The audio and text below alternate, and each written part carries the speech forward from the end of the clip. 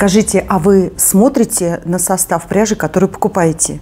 И один раз я промахнулась и не посмотрела. Я искала для своего изделия Африка очень глубокий, хороший, красивый оттенок серого. Да, я нашла, но не посмотрела на бирку, а там в составе был эластан. Мне эта пряжа для этого кардигана не подошла, и я ломала голову, что же можно сделать. Да, конечно, можно с пряжей, которая в составе содержит эластан, связать шапку, которая будет держать резинку, носки.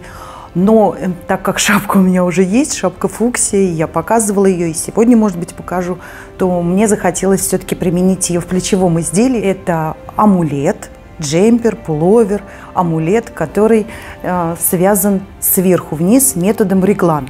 И почему я выбрала эту пряжу с эластаном для этого изделия? Большая часть изделия – это резинка. Вот, насколько вы можете видеть, здесь э, как раз резинка из скрещенных петель, она более плотная. И я подумала, что связав уже в другом цвете с обычного китмахера этот же амулет, я подумала, что попробую, как будет смотреться паутинка легкая, не совсем паутинка, но сейчас увидите, как будет вязаться пряжа с эластаном. Сразу могу сказать, что если вы никогда не вязали, повяжите образцы, возьмите совершенно разные спицы номером, и у вас а, будет опыт, каким образом не уменьшить изделие. Да, вот именно, оно уменьшается. И первый опыт у меня был, это я связала вот эту зеленую горчицу э, из сногсшибательного Baby Camel, но он получился очень маленький. Вот та череда промахов и ошибок, она иногда ведет к каким-то новым приемам, новым решениям, к интересным а, подходам к вязанию. И вот как раз здесь, вот в этой конструкции, вот в этом силуэте мне понадобилось, чтобы здесь была пряжа в виде резинки. Сначала был связан вот этот в цвете фуксия. И все бы ничего, но в две нитки кедмахира он получился очень жарким. Я в один из праздников новогодних э, решила надеть его и, честно сказать, запарилась. А уже второй, вот этот вот оранжевый, я связала как раз из э, пряжи Кидмахер 1000 метров в 100 граммах в одну нитку, но там не было эластана, и поэтому не было так э, силуэтно, как вот в этом вот джемпере. Какие еще могут быть сюрпризы от пряжи с эластаном? Изделие может со временем, я не знаю, чем это обусловлено, стать гораздо-гораздо меньше. То есть изначально вот эта зеленая горчица была мне по размеру. Не оверсайз, но размер в размер. Это где-то между 46 и 48. И со временем, когда я решила примерить, он стал еще меньше. Поэтому, когда вы выбираете пряжу, следите за тем, чтобы там были именно те нитки, не как со мной это произошло. Я схватила этот потрясающий меланжевый цвет, а, он мне понравился как раз из-за неоднородности оттенков. Но я упустила из глаз то, что он содержит в себе эластан. Ну и давайте подробнее сейчас поговорим, как вяжутся а, такие вещи, где вот мож, может быть валан, я могла продолжить, как в цвета фуксия, здесь э, рукав. Но так как я в первом запарилась, я уже решила просто сделать вот такие фонарики. Вяжется сверху вниз, и здесь несколько так называемых регланных линий, по обеим сторонам которой, каждой регланной линии, делаются прибавления петель. Если это очень длинная регланная линия, то, конечно же, не в каждом втором, а если вам надо сделать короткую, относительно короткую, как у меня, регланную линию, потому что, видите, а, где у меня пройма начинается, прямо в подмышках, то, конечно же, я рекомендую в каждом втором ряду. И узор мне нужен был как раз такой, вот, который на основном полотне, который как раз а, будет прозрачный, легкий в исполнении и рассчитанный на круговое вязание – Моя подруга Ольга Полонская помогла мне с названием назвав его амулет, она говорит, представляешь, ты идешь на какую-то встречу, ты берешь с собой что-то, что тебя как бы немножко охраняет. Это какой-то талисман или амулет. А, я схватилась за слово амулет, назвала, что да, если я пойду на какое-то мероприятие или на какую-то встречу, может быть, на свидание, я с удовольствием одену изделие, которое меня оберегает, мой амулет. Мне в телеграм-канале а, Татьяна задала вопрос, что вот у нее есть нитка шелка и есть нитка кидмахера, она хочет их как-то в одном изделии соединить, повязать. У меня не сложились отношения с очень тонкими спицами, это, например, 3 миллиметра, и у меня не сложились отношения с шелком. Так как я люблю вещи оверсайз, те изделия, которые я вязала с шелком – в составе с вискозой, они в длину менялись, трансформировались не запрограммированно для меня, неконтролируемо. А вот ширина, которую я очень люблю, очень часто, не сегодняшний вариант, конечно, то эту ширину я а, теряла. Поэтому опыта у меня такого вот уж прям с шелком или с вискозой маловато – и, честно сказать, я вот освоила для себя самые идеальные для меня а, варианты тип пряжи. Это пушистая или это пряжа кидмахер. Любая пряжа, которая э, объемная. Мне нравится из нее вязать, мне нравится, что вещи невесомые. И вот я показывала паутинку, по-моему, она весит около 80 грамм. Цвет выбрала исключительно для того, чтобы была красивая обложка у, у видео для YouTube и других платформ, только ради этого. А так в жизни, конечно же, это достаточно такой э, цвет с претензией. По поводу моих наборов. Когда я вяжу или создаю какое-то изделие, пишу мастер-класс, то в процессе вязания очень часто многие варианты а, тех или иных видов пряжи не подходят. Либо очень тяжелые, либо прозрачные, либо нет фактуры или текстуры. И как раз поэтому, демонстрируя то или иное изделие по моим мастер-классам, у меня стали задавать а, вопросы. А у вас есть еще такая пряжа? Вот так и началось это с Намибии. Это была а, пряжа спушенный меринос – Бэби Альпака и Кидмахер. И очень понравился этот горчичный цвет, очень понравилась фактура этого кардигана. Мне пришлось в следующих проектах своих и изделиях сразу протестировав какую-то пряжу, брать ее достаточно много для того, чтобы иметь возможность для вас делать наборы пряжи, которые я уже протестировала. И вот конкретно вот в этом изделии, почему это очень удобно.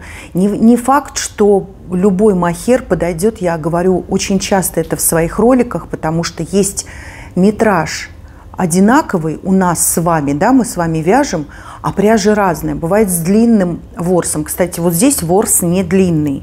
Очень удобный для того, чтобы такое приталенное, компактное связать изделие.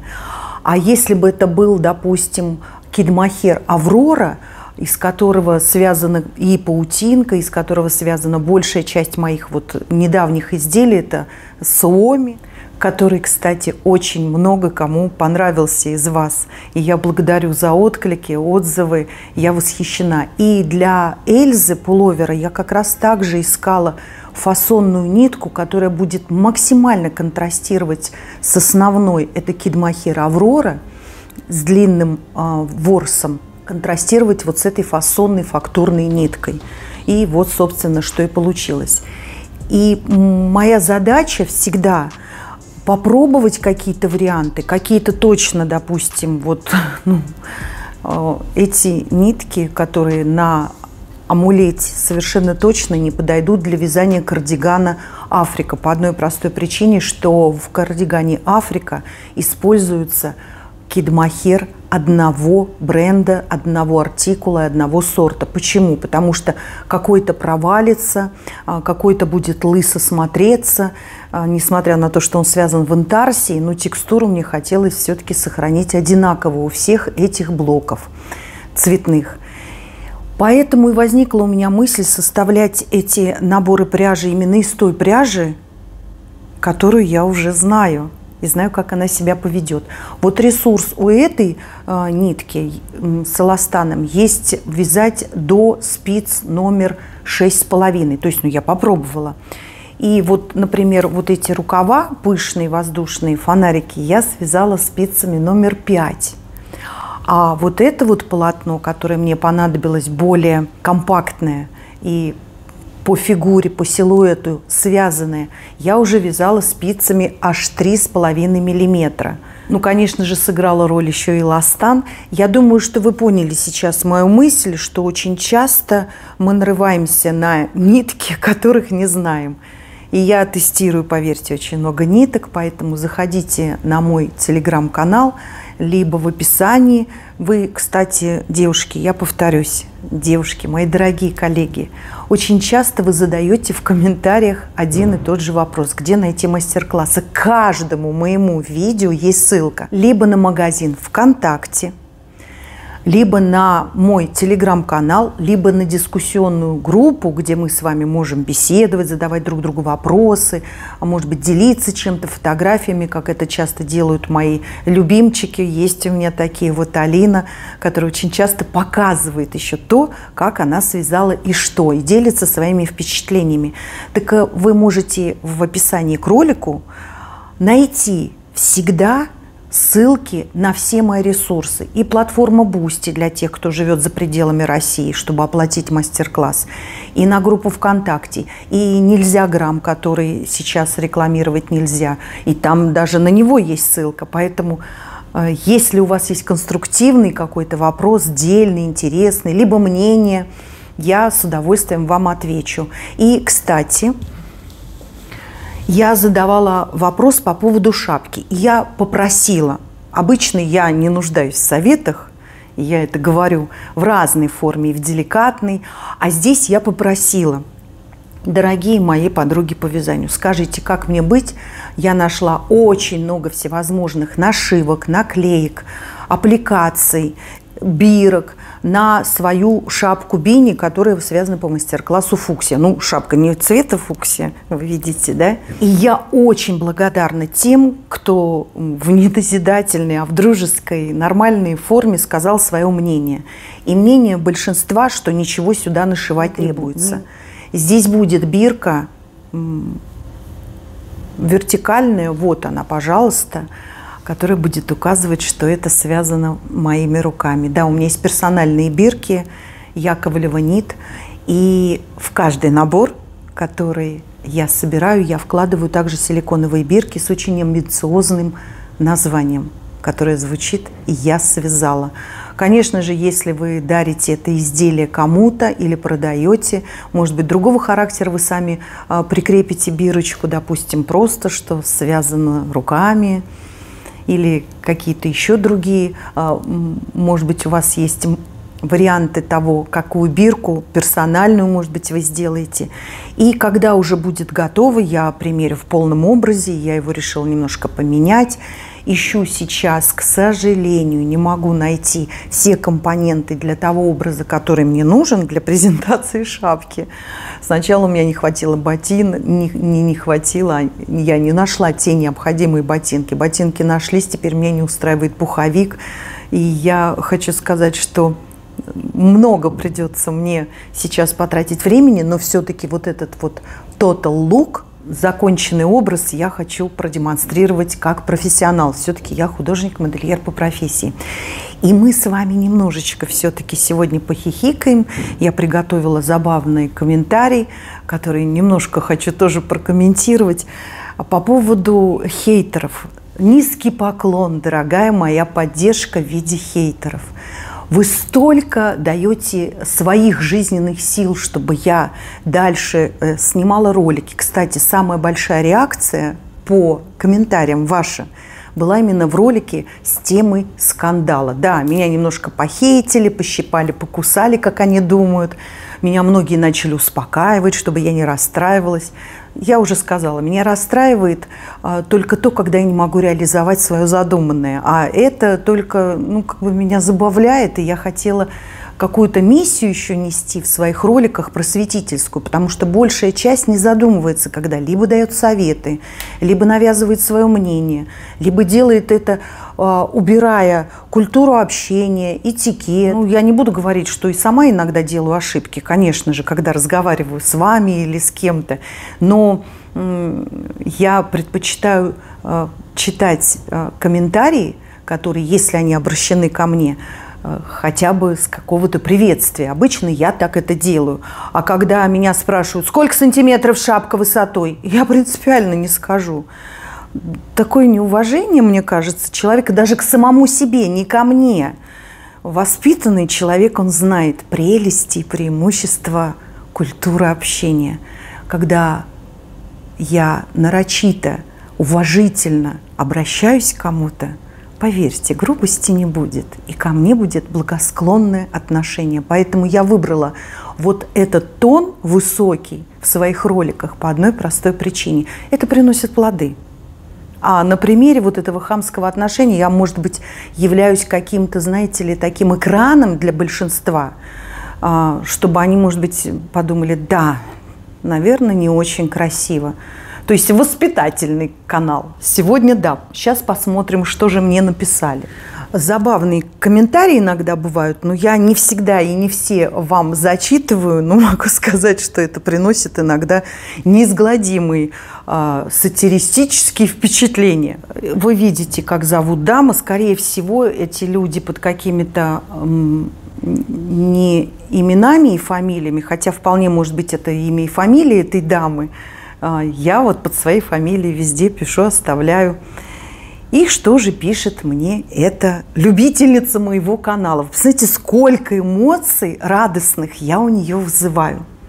Вы не должны снимать ваши ролики. Ну, я у нее забыла спросить, что мне вообще в этой жизни делать. Если уйдете с канала, никто не заплачет. Ну, хорошо, пусть никто не плачет, я все равно буду снимать ролики пожилая женщина, мне 53 года, ну, наверное, с 65 хотя бы начинается пожилой возраст, хотя ей, наверное, 18. Пожилая женщина, полуголая, ну, а что? Руки голые, кстати, да.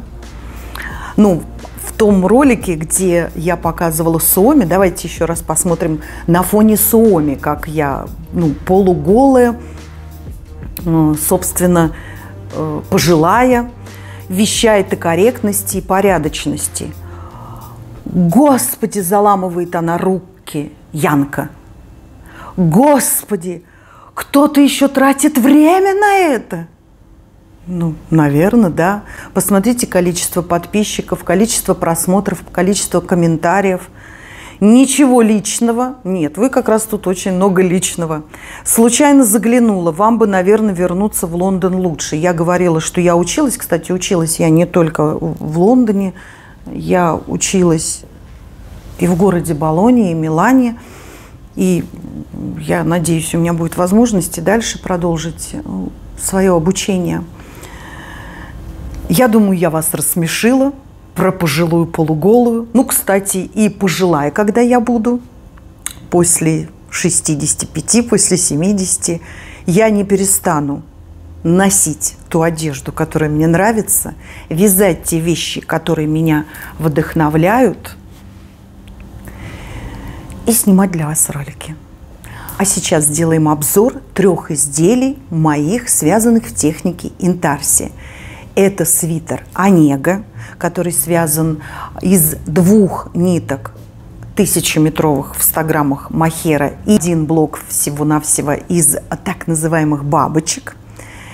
Это пуловер Матис и моя любовь – это Африка, куда я очень хочу попасть. И в Намибию тоже у меня есть такой кардиган, ну, чуть-чуть попозже – я э, хотела обратить ваше внимание, что все три изделия связаны из махера и какой-то пряжи. Вот как раз эту какую-то я сейчас тестирую.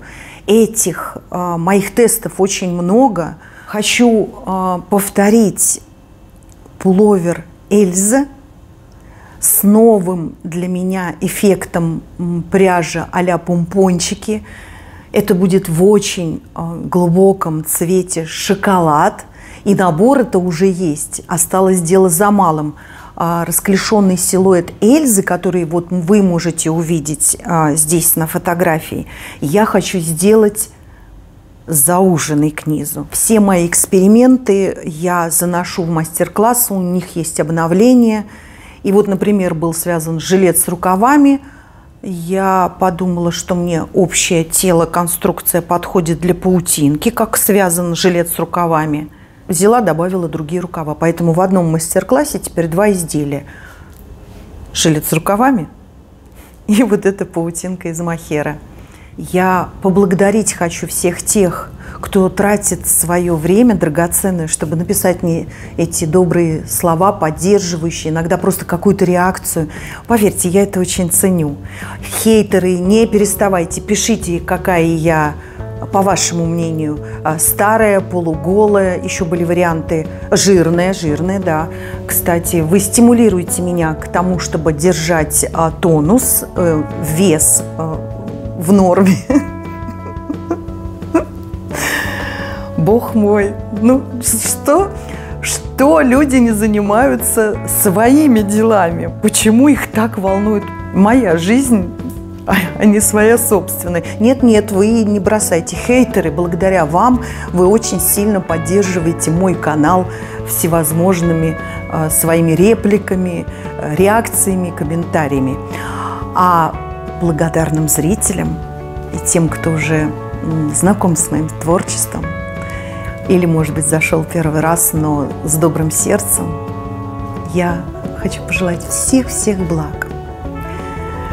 Конечно же, мы увидимся с вами в будущем. И я говорю вам пока.